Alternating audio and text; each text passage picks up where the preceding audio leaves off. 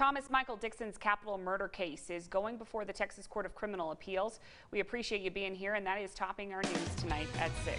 Dixon was convicted in Lubbock for the 2012 shooting and stabbing death of Dr. Joseph Sonnier. Prosecutors did not say Dixon pulled the trigger, but instead paid David Shepard to do it. Shepard is currently serving a life sentence. Dixon is out on bond because the appeals court set aside his conviction in late 2018. The Seventh Circuit Court of Appeals ruled that the state district court in Lubbock violated Dixon's right to a public trial and that cell phone records were confiscated without a proper search warrant.